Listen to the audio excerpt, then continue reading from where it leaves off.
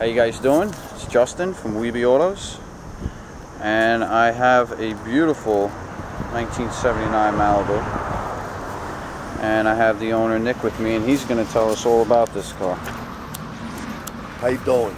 This is a 1979 Malibu. It's got a 468 built by J&A. It's 10 and a half compression so it runs on pump gas, has a hydraulic roller cam, has a brand new radiator that I know about, transmission, uh, drive shaft, everything is new, all the way to the back of the car to the rear fuel pumps. Uh, the, electric fuel pumps, got the wheelie bars on the car, and the car is ready for track or street. I'm only driven this car so far 10 miles. I only completed this last Saturday. I'm not sure the date, September 10th or 11th. Just finished the car. Just got it out of the shop. Wow. So a lot of odds and ends that I, I forgot to mention car has. Uh, got the trans brake in the car, it's got the line lock in the car. It's ready for action, either way. But I don't like to race and I don't like to break anything. so uh, I, I enjoy this car, and like I said, I only had 10 miles on the car. And what what motor do you have in it? It's a 468. There's a 454 out 30 over to 468. Built by J&A. I called up James last night, talked to him about it. Got a hydraulic roller. So you don't have to worry about adjusting valves. And you run it on pump gas. You don't need racing gas. Although I mix it. I don't know how good it's going to run. I haven't driven that much yet. But I mix the gas. Okay. Mostly I run up to 260. And maybe I used uh, 5 gallons, 10 gallons so far. And it's got a turbo 400 tranny in it, right? Brand new with the brake. And what about the rear?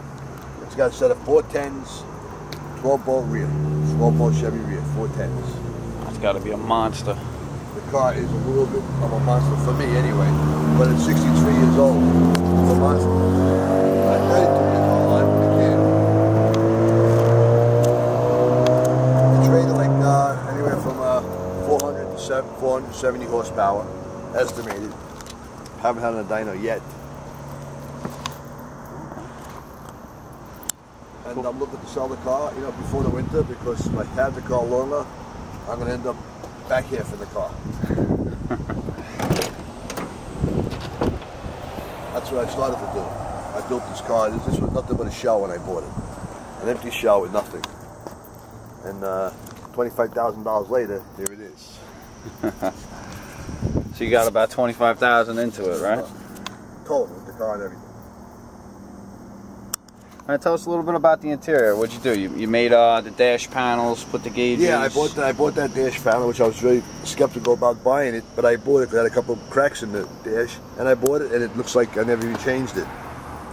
I put the bucket racing bucket seats in it. The back seat came in the car. I did all the gauges. All the gauges worked. The only gauge that give, giving me a hard time with, let me get that ring in it.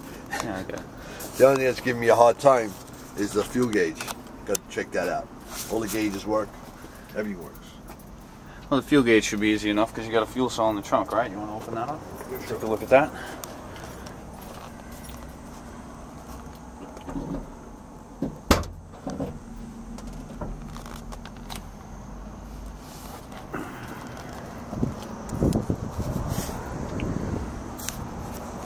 It's uh, I brought it to get checked out. The fuel cell. The guy said maybe the elements from the fuel cell might be in the pickup. Okay.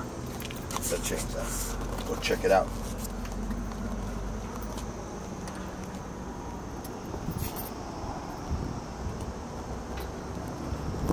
Would you mind opening up the hood and show us the meat of the car?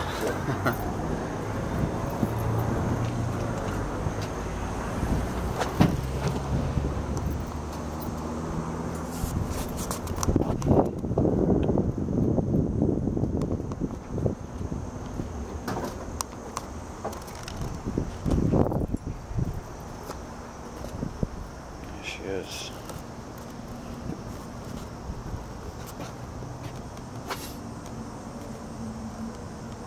About 470 horse.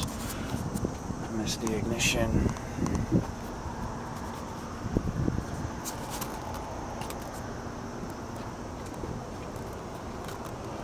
It's got a fiberglass hood on it.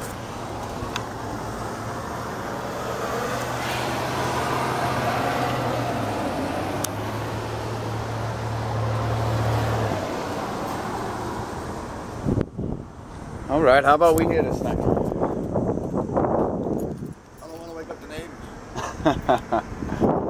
this is definitely a neighbor waker.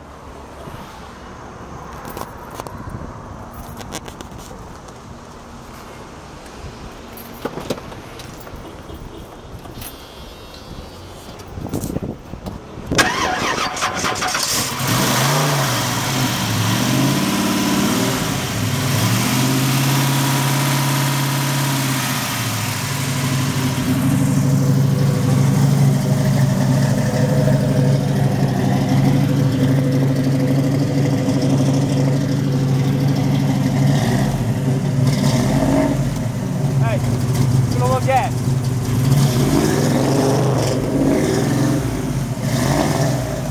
Ah, sounds great.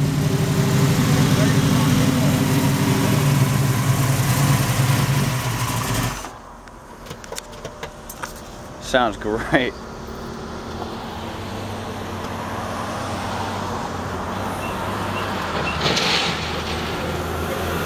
All right, guys.